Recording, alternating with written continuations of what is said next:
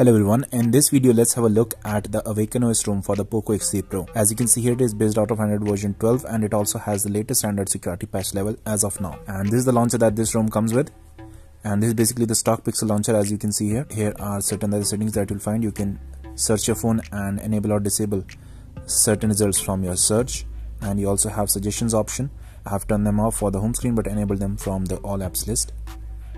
And on the left side you'll have the Google pane and here are the wallpaper and style options. Here you can choose the basic colors if you want. You can also enable or disable the dark theme from here. And you can enable themed icons and change the app grid size as well. And now let's have a look at the benchmark scores of this particular ROM. And as you can see here this is the wildlife score that this particular ROM got.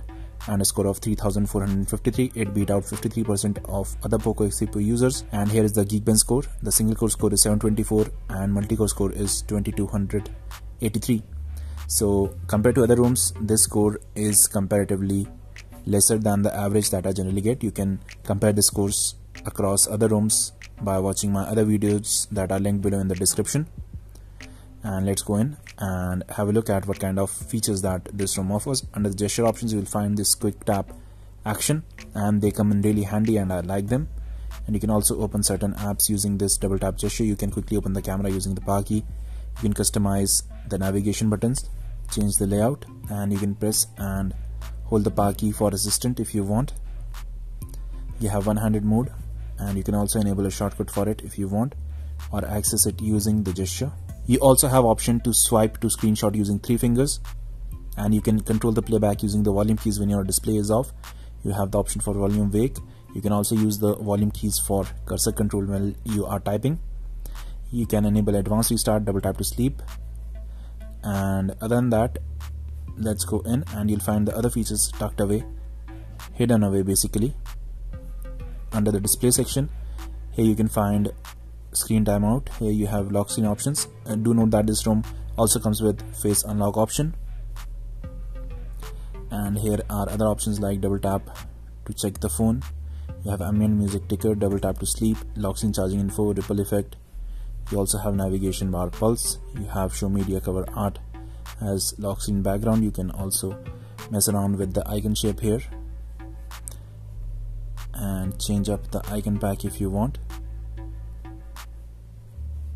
So basically the customization features are all hidden away here. And you can change up the accent color picker if you want.